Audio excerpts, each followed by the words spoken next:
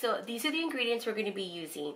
Very simple ingredients. Here we have some flour, all-purpose flour. Here we have some plain panko breadcrumbs. Here we have some Oaxaca melting cheese. If you cannot find this cheese, it is okay. You can use any kind of cheese that you find. Um, you can even use mozzarella cheese, um, something that just melts easily. Here we have some white corn tortillas. I always use white tortillas.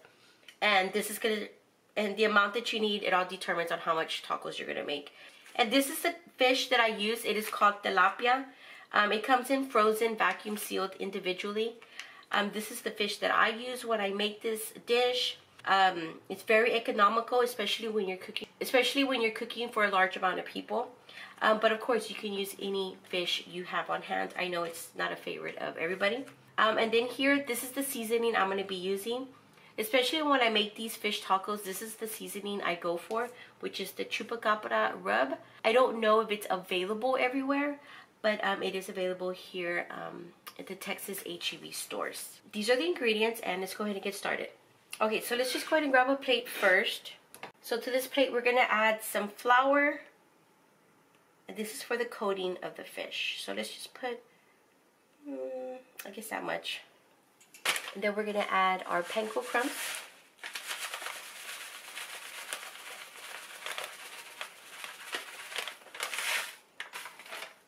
So the exact measurement, I really don't know it because I never measure it, but just so long as it's half and half.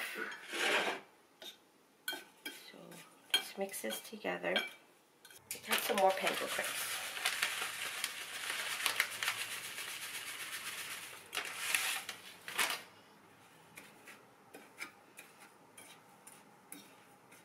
So basically a more panko than flour. This is going to have to work, yes. So you want it to have that feeling that it, there's still flour in there, but obviously you're going to feel the panko crumbs.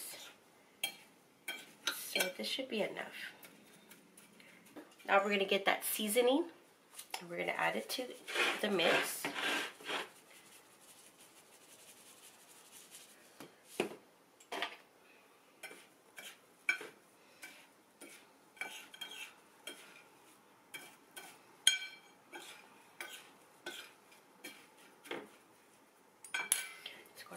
more.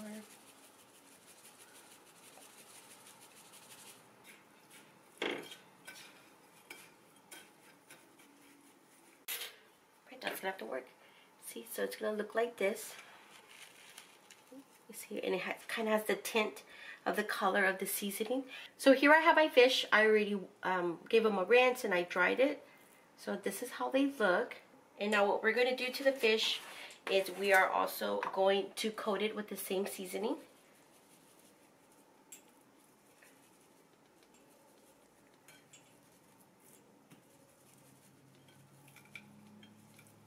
And that is how they look. Just kind of rub it on there.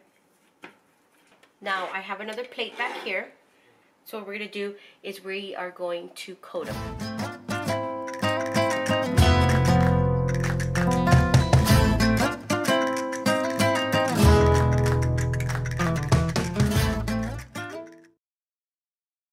So, now that I've already um, already coated the, the fish, I'm gonna go ahead and turn my pan on. I'm using a deep skillet because I'm gonna like fry them. In the meantime, in the back, I'm gonna be making just a little pan of some white rice. So real quick, so while I'm waiting for my pan to heat up, I'm off to the side adding more crumbs to the fish, just coating it more. That way the coating gets a little bit more thicker. So this is what I'm doing. I'm just doing that. Since I already coated it with one coating, I guess, I let it sit off to the side. So now I'm just going to do this. Let it sit there until I'm ready to use it. Just like that. Now to my pan, because I just let it heat up, I'm going to go ahead and put some oil. I'm going to be using vegetable oil. Pour some in there. We're not deep frying it. Mm. Don't put a lot of oil into your pan. You still, you don't want the fish to submerge into the oil completely. So, a quick tip. You want to know when your oil is ready. You want to grab a wooden spoon and you want to place it right in the middle. And if you see bubbles start to rise up really quickly around the bottom of the spoon, that means your oil is ready. Grab our fish. Another way you can test it is you can put just a little bit of the mix in there. You see that? That means it's ready. Let's get our fish. Just kind of dust it off a little. And it's added. Okay, let's grab another fish. Just like this. Dust it off. So you see how I mean how the fish still pops up on top? That's um, how much oil you would put. So we're gonna go ahead and let these cook. And then um, I'll go ahead and time it for you. That way you know more or less how long it takes um, to cook up.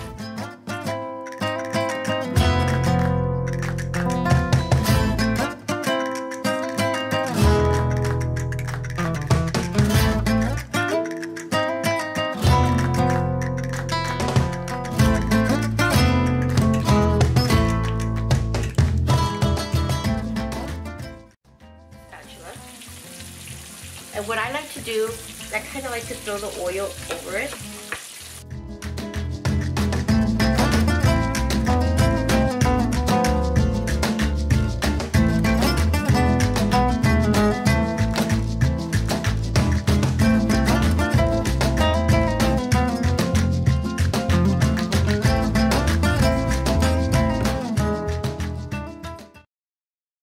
They've been frying already on that side for about four minutes. So now what we're going to do is we're going to flip them.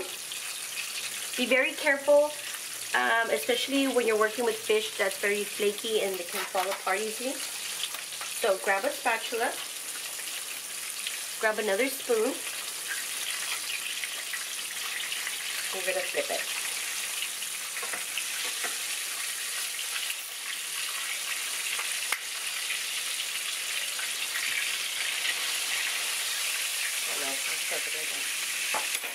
You see how that came out? All right, so now we're gonna remove the fish. The other side's been cooking for about three minutes.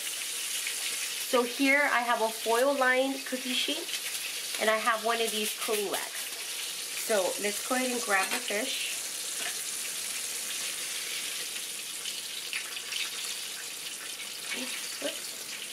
And we're gonna place it on here.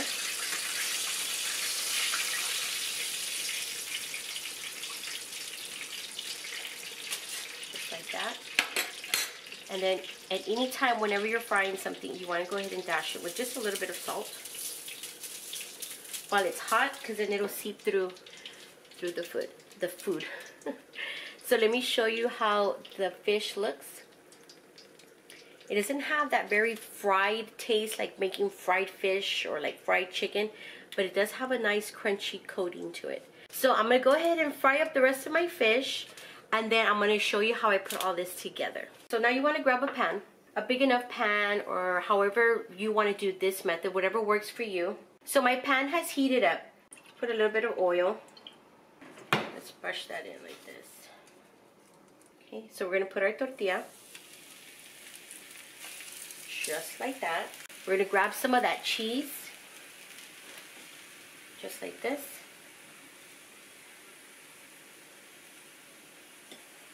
And then now our fish, you see how it has the seam in the middle? We're to go ahead and break it up. Just like that. You see that?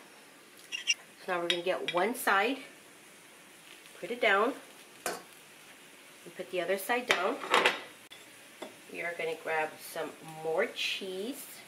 And now we're to put a lid on it, okay? And the reason for the lid is so that the cheese can melt so I'm going to go ahead and finish what I'm doing here and I'm going to show you how it all looks put together nice and pretty. Alright guys, so here it is. Here are my fish tacos. As you can see, the cheese is melted at the bottom. These are kind of nice and toasted. So all you're to do is just fold it over and eat it. This mix that I have on top, it is spring mix. It comes packaged at your local grocery store. This is what I use. Um, back here, this is flavored white rice and all I did is it's Mexican rice, same seasonings, Everything that I use when I make my rice, I just didn't add the tomato sauce. That's all that is, and it still has the same flavors. And then back here, I like to eat my tacos with this type of salsa, which is like guacamole salsa. But as far as the toppings, you can add whatever toppings you like, whatever your favorite is. So thank you guys for watching. I hope you guys enjoyed this video. Go ahead and give it a thumbs up if you liked it, and I will talk to you guys later. Thank you guys. Bye.